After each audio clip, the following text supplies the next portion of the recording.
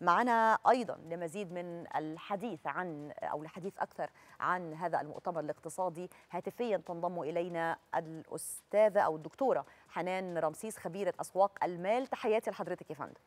صباح الخير دكتورة منى صباح النور يا فندم على حضرتك. النهارده لما بنقرأ كده اجنده أول يوم اليوم الأول في المؤتمر ملاقيين إنه في جلسات كتيره قوي لها علاقة بالسياسات المالية سياسات مالية سياسات نقدية وما إلى ذلك. تخصيص يعني جلسات كاملة السياسات المالية والدين العام السياسات النقدية في ظل التطورات العالمية. وسؤالي لحضرتك هنا مفهومنا البسيط قوي إحنا كغير متخصصين يعني غير حضراتكم إنه السياسات المالية والنقدية يعني بنتكلم إنه الدولة بتستخدم حصيلة إيراداتها اللي جاية مع المصروفات علشان تقدر تشكل اقتصاد هذا البلد. النهارده إزاي ممكن يتم طرح هذه السياسات النقدية والمالية بلغتها المعقدة جدا ولكن لأنه كل اللي حاضر طبعا ناس يعني أساتذة في الاقتصاد ومعنيين بالاستثمار إزاي ممكن يتم طرح هذه النقاط الهامة جدا النهارده؟ توقعات حضرتك إيه من هذه الجلسات المتعلقة بالسياسات المالية؟ طبعا إحنا عايزين بس نفرق ما بين السياسات المالية والسياسات النقدية. طبعا. السياسات المالية تتعلق بالموازنة العامة للدولة بتتعلق بال إزاي ان أنا أعظم من مدخولات الدولة إزاي أنا أزود قيمة الميزان التجاري إزاي إن أنا أظبط سعر الصرف دي كلها تتعلق بالسياسات المالية. أما السياسات النقدية تتعلق بقياس التضخم واستخدام أنسب الوسائل لمجابهه هذا التضخم يا إما من خلال رفع أسعار الفايدة يا إما من خلال بقى الإجراءات اللي بيتخذها البنك المركزي زي رفع رفع الاحتياطي الإلزامي الإجراءات اللي بيتخذها البنك المركزي لدعم السياسة النقدية. ده إحنا عايزين نوضح بس للناس البساط لأن إحنا مش كلنا متخصصين ولازم على فكرة المواطن المصري يفهم إيه مغزى المؤتمر الاقتصادي. طبعا إحنا في بيواجه الدولة العديد من المشاكل. طبعا إحنا انتهجنا سياسة إصلاح اقتصادي كان المفروض إن المواطن هيبقى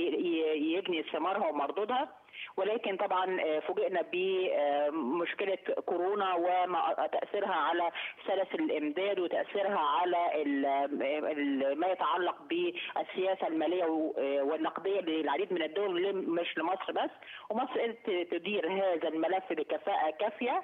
وكانت ابتدت إن هي تحسن من أدائها الاقتصادي وتصنيفها الائتماني وما إلى ذلك. لكن بعد كده طبعا حصلت مشاكل جيوسياسية برضه ملناش يد فيها.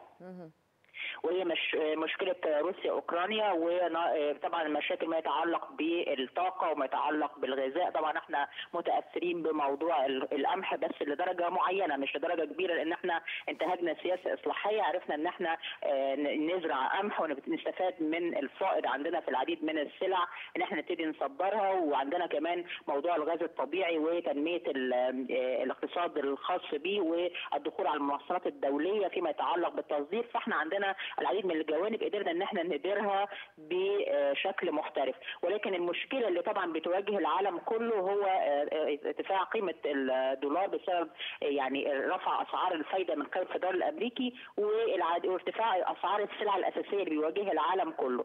طبعا عندنا في مصر الحمد لله يعني المشاكل مش بال بالموضوع العميق اللي تتأثر به المتأثرة به دول العالم وخصوصا دول الاتحاد الأوروبي. إحنا عندنا الحمد لله وفرة في موضوع الغذاء موضوع الطاقة الحمد لله عندنا جانب بنديره بحرفية موضوع الغاز ولكن وابتدينا كمان نتوسع في الطاقة الخضراء وابتدينا نتوسع في الطاقة عن طريق الرياح وتصدير الكهرباء. فكل ده يعني فاد الدولة المصرية وخلى التحديات اللي قصادها ممكن تبقى تحديات آه كبيرة. ولكن ممكن السيطرة عليها عندنا الملف بس اللي هو الأكبر اللي بيتعلق في الوقت الحالي طبعا النمو السكاني المطرد وإزاي أنا أستفاد من الطاقة السكانية أحولها إلى طاقة منتجة عشان خاطر يعني يبقى معدلات التنمية معدلات ظاهرة على الأداء المصري إحنا آه. طبعا لو كان معدلات النمو السكاني يعني منخفضة عن هذا المعدل كان هيظهر زيادة في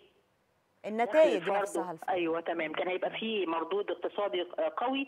و- وعلى فكرة يعني حضرتك كنت برضه سألتي سؤال سابق هو إزاي هيفلتروا الأفكار اللي تتعلق بالمؤتمر الاقتصادي؟ صحيح. في منصة مفتوحة من 5 أكتوبر للتواصل مع كل الآراء حتى المواطن العادي ي- يعني يبعت أسئلته ويبعت استفساراته وكانت بتترد عليها بطريقة منتظمة. وطبعا بت- كان مطلوب مننا كاقتصاديين إن إحنا نشارك بأفكارنا ونشارك بخبراتنا والمشاكل اللي إحنا بنواجهها سواء في آه، قطاع سوق المال في آه، مشاكلنا في حياتنا اليومية وتم طبعا التواصل مع العديد من الاقتصاديين عشان فتح مجال الحوار واتعمل منصة لتداول الأفكار ظهرها من 5 أكتوبر حتى الأمس أكثر من 12 آم، آه، الف آه، مواطن للاستفسار ولعرض افكارهم والتواصل مع المؤتمر اللي بينعقد اليوم اللي هيستمر لثلاث أيام اللي بيغطي ثلاث مسارات السياسة الاقتصادية الكلية وتمكين القطاع الخاص وتهيئة بيئة الأعمال وصياغة خارطة الطريق المستقبلية للقطاعات ذات الأولوية في برنامج عمل الحكومة. نعم. الدكتورة حنان رمسيس خبيرة أسواق المال جزيل الشكر لحضرتك يا فندم على هذه الصورة الشاملة التي وضعتينا فيها فيما يتعلق بهذه المناقشات الهامة جدا اللي هتكون النهاردة إن شاء الله تحديدا يعني في اليوم الأول للسياسات المالية والنقدية.